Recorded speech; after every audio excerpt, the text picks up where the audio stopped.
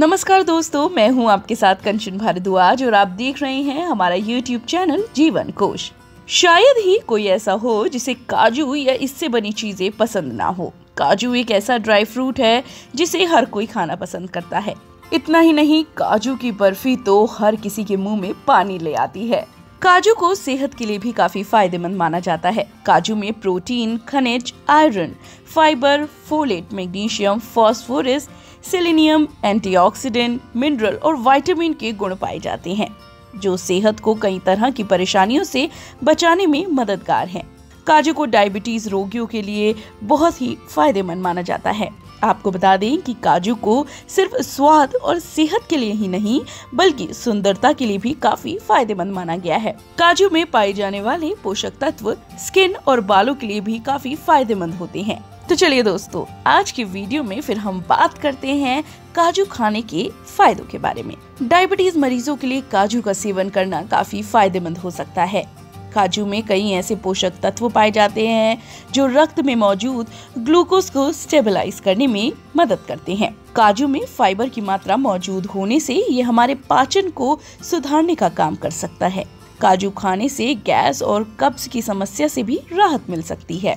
काजू को त्वचा यानी स्किन के लिए भी काफ़ी फ़ायदेमंद माना गया है। त्वचा की झुर्रियों को कम करने में मददगार है काजू का सेवन।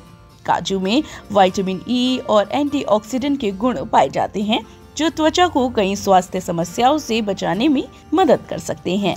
काजू में मैग्नीशियम और कैल्शियम की अच्छी खासी मात्रा होती है, जो हड्डियों को कमज़ोर होने से बचाने में मदद कर सकती है। काजू को डाइट में शामिल कर हड्डियों को मज़बूत बनाया जा सकता है। काजू में मैग्नीशियम और फाइबर की अच्छी खासी मात्रा होती है, जो फैट और कार्बोहाइड्रेट के मेटाबॉलिज्म को बढ़ाती है। इसके सेवन से वज़न को कम किया जा सकता है।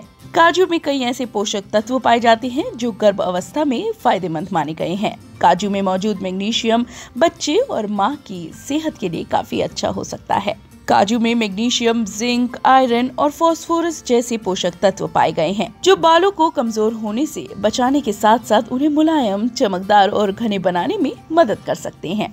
काजू में पाए जाने वाले तत्व शरीर को मज़बूत बनाने का काम करते हैं। इसमें मौजूद मैग्नीशियम हड्डियों के लिए बहुत अच्छे होते हैं।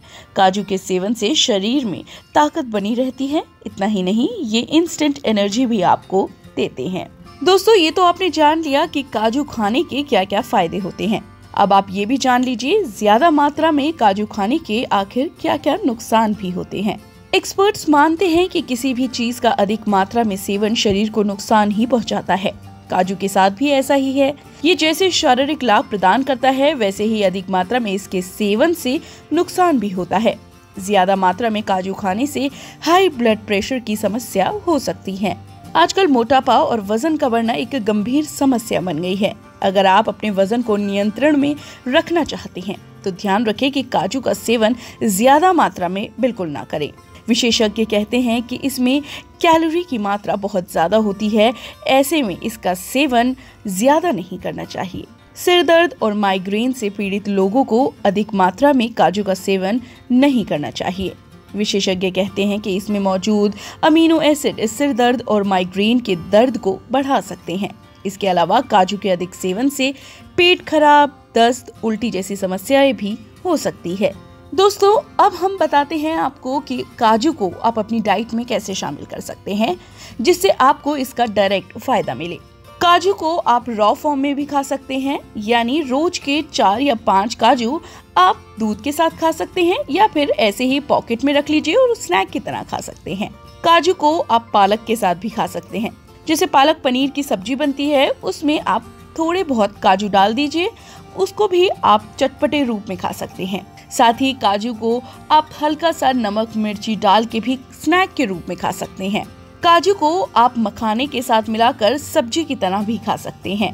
साथ ही काजू को किसी भी सब्ज़ी में डालकर इसे गार्निश भी कर सकते हैं और खाने के तौर पर भी इस्तेमाल कर सकते हैं।